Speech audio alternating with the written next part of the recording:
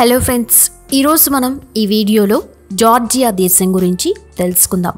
మన సబ్స్క్రైబర్స్ కొంతమంది జార్జియా దేశం గురించి ఫ్యాక్ట్స్ చేయమని కామెంట్ సెక్షన్లో కామెంట్ చేశారు. సో ఫ్రెండ్స్ మీరైతే వీడియోలు చూస్తున్నారు కానీ లైక్ అయితే చేయట్లేదు.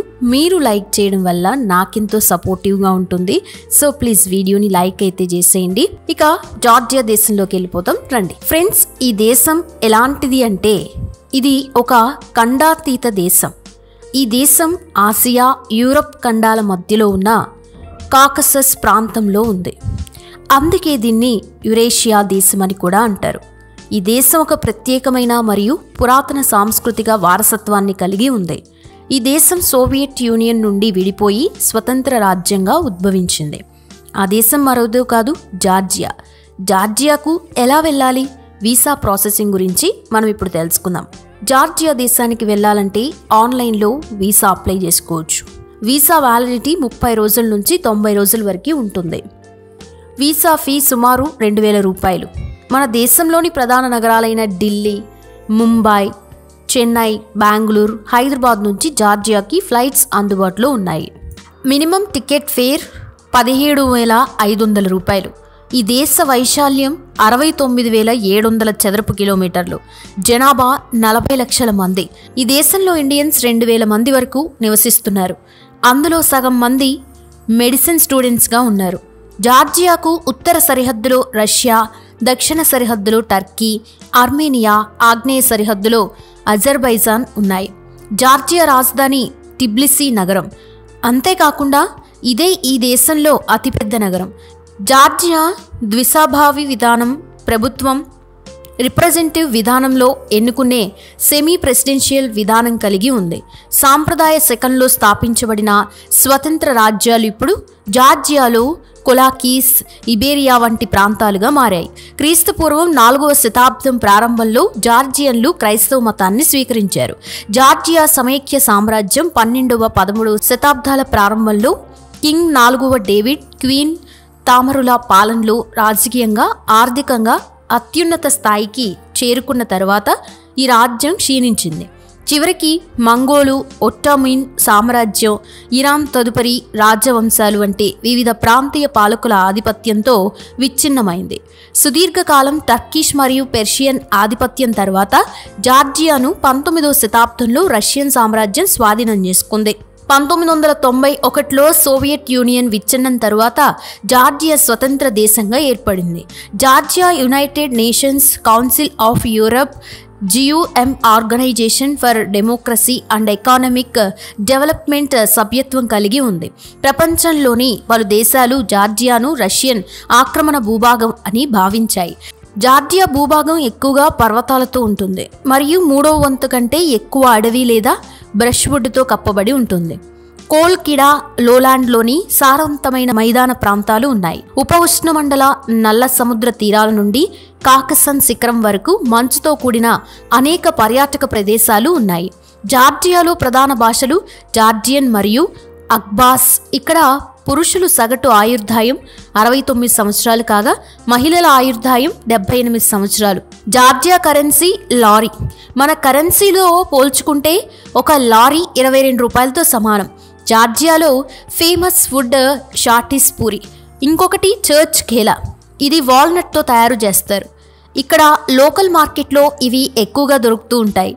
జార్జియాలో ప్రముఖ పర్యాటక ప్రదేశం ట్రినిటీ చర్చ్.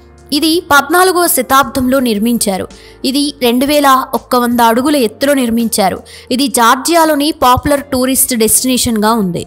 ఈ దేశంలో వాతావరణం చాలా చల్లగా ఉండడం వలన ఎక్కువగా వైన్ తాగుతారు. ఇక్కడి దేశస్థులు సొంతగా ఆర్గానిక్ వైన్ తయారు చేసుకుని అదే ఎక్కువగా తాగుతారు. జార్జియా ఆర్థిక వ్యవస్థలో పర్యాటక రంగం ముఖ్యమైన భాగంగా ఉంది. ఈ దేశానికి ప్రతి సంవత్సరం ఇరవై ఎనిమిది లక్షల మంది పర్యాటకులు వస్తూ ఉంటారు.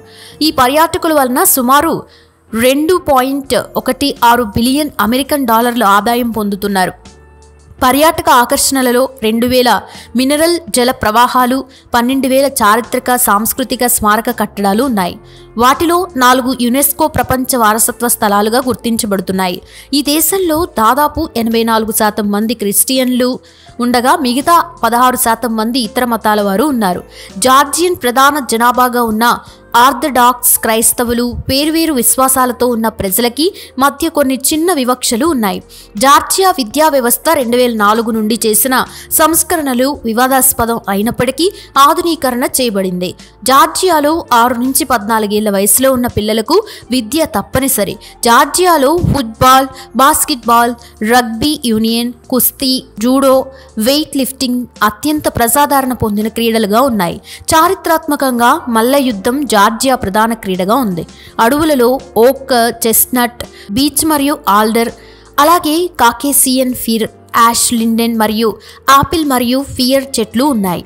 పశ్చిమ అండర్ బ్రష్తో సతత హరితాలు మరియు కాకేసియన్ బిల్బెర్రీ మరియు గింజ చెట్ల వంటి ఆకురాల్చే పొదలు ఎక్కువగా ఉంటాయి. సిట్రస్ తోటలు దేశం మొత్తం కనిపిస్తాయి. యూకలిప్టస్ చెట్లు ఈ దేశంలో రోడ్ల పక్కన ఎక్కువగా ఉంటాయి. అటవీ ప్రాంతాలలో అడవి పందులు రో మరియు కాకేసియన్ జింకలు గోధుమ ఎలుకబంట్లు లింక్స్ తోడేళ్ళు నక్కలు కుందేళ్ళు మరియు ఉడతలు ఎక్కువగా నివసిస్తూ ఉంటాయి. పక్షులు ద్రష్ నుండి నల్ల రాబందు మరియు గద్ద వరకు అన్నీ ఉంటాయి. ఉక్రెయిన్పై రష్యా దాడి చేసిన తర్వాత జార్జియా చాలామంది రష్యన్ ప్రవాసులకు తాత్కాలిక నివాసంగా మారింది. ఉక్రెయిన్పై రష్యా దాడికి నాటో విస్తరణ ఒక ప్రధాన కారణమని జార్జియా ప్రధానమంత్రి ఇరాక్లీ గరిబాష్విలి దేశీయ మరియు అంతర్జాతీయ విమర్శలను ఎదుర్కొన్నారు. జార్జియాలో వ్యభిచారం నిషిద్ధమైనప్పటికీ బాగా విస్తరించి ఉంది. ముఖ్యంగా ఈ దేశ రాజధాని టిబ్లిసీలో ఎక్కువగా నడుస్తోంది వ్యభిచారం. ఈ దేశంలో దాదాపు ఏడు వేల మంది వేశ్యలు ఉన్నట్లు సర్వేలు తెలియజేస్తున్నాయి. సామాజికంగా సాంప్రదాయవాద జార్జియాలో స్త్రీ కన్యత్వ పరీక్షలు నిషిద్ధం. ఇక్కడ అమ్మాయిలు తమ ఇరవయో ఏట కన్యత్వాన్ని కోల్పోతున్నారని సర్వేలు తెలియజేస్తున్నాయి. జార్జియా ఒక సురక్షిత దేశం. క్రైమ్ ఇండెక్స్ సర్వే ప్రకారం ప్రపంచంలోని సురక్షిత దేశాలలో జార్జియా ఐదో స్థానంలో ఉంది. జార్జియా సామాజికంగా సహనం కలిగిన దేశం. జార్జియన్లు ప్రధానంగా ఆర్థడాక్స్ క్రైస్తవులు ఆతిథ్య సంస్కృతిని కలిగి ఉంటారు. జార్జియన్లు వివిధ మతాలు జాతి మరియు సామాజిక స్థితికి చెందిన వ్యక్తులను స్వాగతిస్తున్నారు. అందుకే జార్జియా అత్యుత్తమ పర్యాటక గమ్యస్థానంగా మరియు అంతర్జాతీయ విద్యార్థులకు ఇష్టమైన గమ్యస్థానంగా మిగిలిపోయింది. జార్జియాలో పెళ్ళి ఫిక్స్ అయిన దగ్గర నుంచి అయ్యేంత వరకు అమ్మాయి అబ్బాయి ఇద్దరు కూడా బయట తిరగరు. పెళ్ళి ఫిక్స్ అయిన తరువాత అమ్మాయి పైన చెడు దృష్టి ఎక్కువగా ఉంటుందని ఇక్కడి వారు నమ్ముతారు. జార్జియా దేశంలో ప్రపంచంలోని అతిలోతైన గుహలున్నాయి. ఇప్పుడు జార్జియా దేశంలో చూడాల్సిన ప్లేసెస్ గురించి అయితే మనం తెలుసుకుందాం. Number one Ushguli. Number two Tbilisi. Number three Batumi. Number four Mestia. Number five Kazbegi. Number six Kakheti. Number seven Kutaisi. Number eight Ananuri number nine Uplistsikhe పురాతన గుహ నగరం. నెంబర్ టెన్ తుషేతి చూసారుగా ఫ్రెండ్స్ జార్జియా దేశం గురించి facts మీరెవరైనా Georgia వెళ్ళున్నట్లయితే కింద comment సెక్షన్లో comment చేయండి. అలాగే మీకు ఏదైనా కంట్రీ గురించి ఫ్యాక్ట్స్ తెలుసుకోవాలనుకుంటే కామెంట్ సెక్షన్లో కంట్రీ నేమ్ పెట్టండి. నేను కంపల్సరీగా ఆ కంట్రీ ఫ్యాక్ట్స్ అయితే చేస్తాను. ఈ వీడియో మీకు కనుక నచ్చినట్లయితే కంపల్సరీగా లైక్ అయితే చేయండి. వీడియోని షేర్ చేయండి. తెలుగు అమ్మాయి ఛానల్ని సబ్స్క్రైబ్ చేసుకోండి. Thanks for watching this video